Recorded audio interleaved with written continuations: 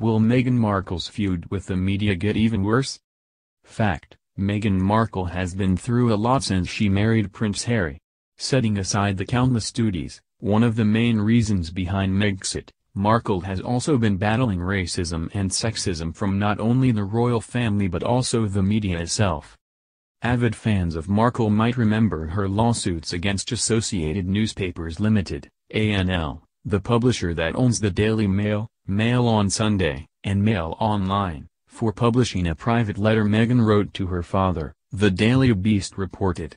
Well, after three years and millions of dollars, a verdict was revealed, Meghan Markle won. This is a victory not just for me, but for anyone who has ever felt scared to stand up for what's right, Markle wrote in a statement, via The Cut. While this win is precedent-setting, what matters most is that we are now collectively brave enough to reshape a tabloid industry that conditions people to be cruel and profits from the lies and pain that they create. You'd think that the issue would have been resolved, right?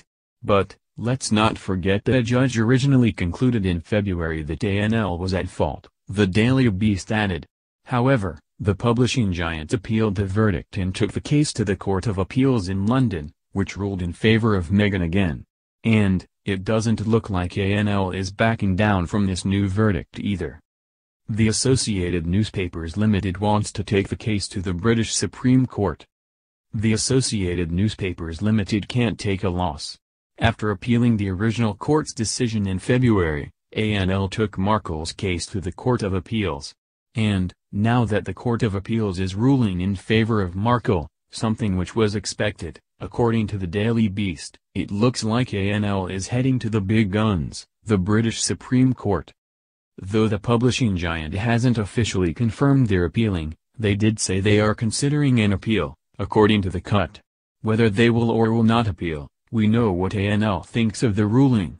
The outlet added two op-eds, which were published under Mail Online, criticizing the ruling and Markle too. So, the fight is far from over. But for right now, let's bask in this, temporary, victory. As the cut reported, ANL will probably have to pay Markle damages and issue a published apology on the front page of Mail on Sunday and Mail Online. It may not seem like much of a win, but we'll take it.